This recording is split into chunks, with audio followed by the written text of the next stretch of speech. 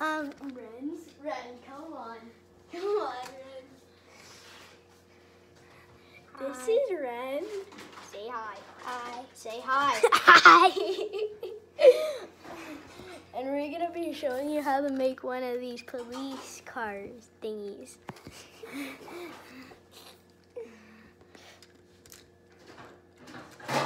Wait a second. Wait a second. Like he just said. Okay, so first you're gonna need one of these. And you're gonna need to attach a black two by two right here and a green two by two right here.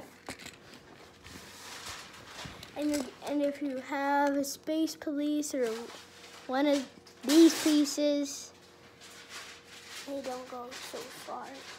And you put sirens on them, Blue and red. and then you just um, put it right. You forget how to put it. here on the back, right where the like vent thing is. And then And then if you have one of these pieces, the flat. the flat thingy majigger things, you put it right Do to watch it on YouTube after?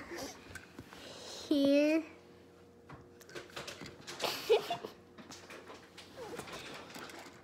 And then you grab one of Chinese these finger chat. and you get it right here. And then you go like right that. And then if you guys have an engine, like a Lego engine or something like that, you can put it right behind the sp- thing at the back. Space siren. Space Yep. something. And if you you should have a Seat. seat, and then you need to put it what two spaces behind the back of the engine, so it doesn't fall off. And then you get one of these. You get two two by twos, and one of those flat one pieces that have one of those things. Clips on. And then you get one of these. And then you put it right here. And then there you go. You have it. Please subscribe.